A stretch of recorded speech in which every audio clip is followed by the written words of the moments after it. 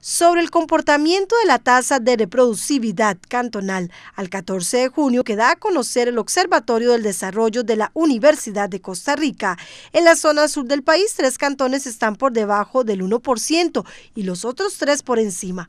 Cotobruz es el tercer cantón en el país que reporta la tasa de contagio más baja, solo superado por Landayure y San Mateo. Estos son los datos a nivel regional. Cotobruz es el que reporta la tasa más baja de reproducibilidad, estamos hablando de un 0.53%.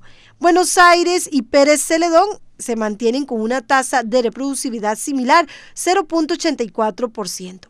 Si hablamos de OSA y Golfito, supera ese 1%, se mantienen en 1.06% y el cantón de Corredores 1.07%. La tasa R de reproducibilidad de un brote epidémico indica el número promedio de personas que contagia cada infectado durante todo el tiempo en que es contagioso. Desde una perspectiva poblacional, la R indica por cuánto se multiplica cada generación de infectados cuando la reemplaza la siguiente generación.